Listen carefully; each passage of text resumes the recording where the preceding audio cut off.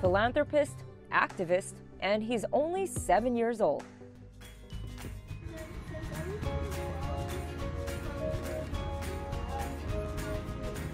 Cavanaugh Bell isn't your average first grader.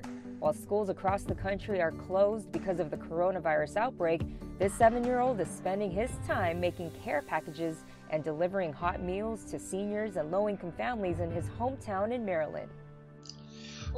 One day I was thinking about my grandma because she walks to the grocery store every day. And I thought, well, she shouldn't be walking to the grocery store because it's coronavirus season. So I decided to ask my mom if I could make some care packs for her.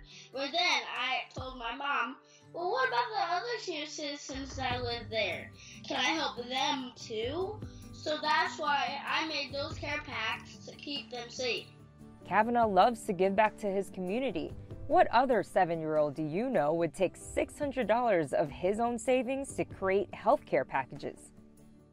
I saved up my money through birthdays and Christmases for three years, and I finally decided to use that to make 78 care packs for the senior citizens and also um, make meals 31 meals for the senior citizens. And also, I got donations to get food for 90 students.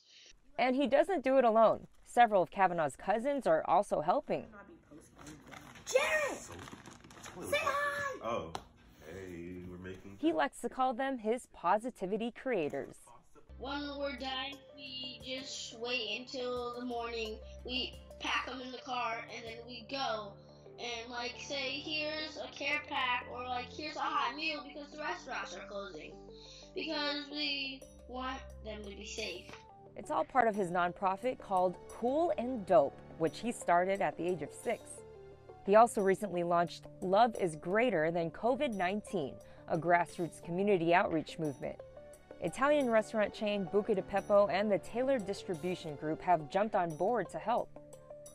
Both will pitch in to offer hot meals and household cleaning supplies. He had this encouraging message for other young kids who may want to follow in his footsteps. Well, if they want to do the same thing as me, the first step you have to do is tell your mom that you want to start your own nonprofit. Know, always, you have to know that you have to spread positivity